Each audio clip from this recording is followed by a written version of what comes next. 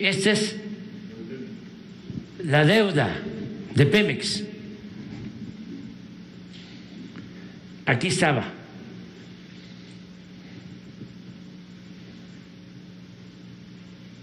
Ciento veintinueve mil millones de dólares. Así es, ¿verdad?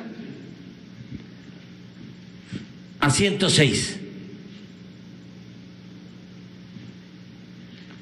22.5 mil millones de dólares menos la deuda de Pemex. Entonces, no queremos que esto aumente.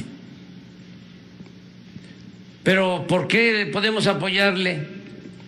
Y en efecto, este es un ingreso que tiene que entregar Pemex por su pago de derecho Hacienda, que era del 65% cuando entramos y ahora es el 30%.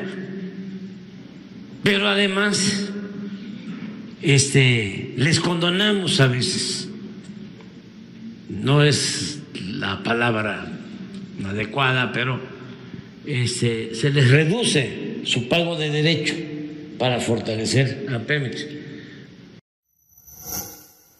Gobierno de México.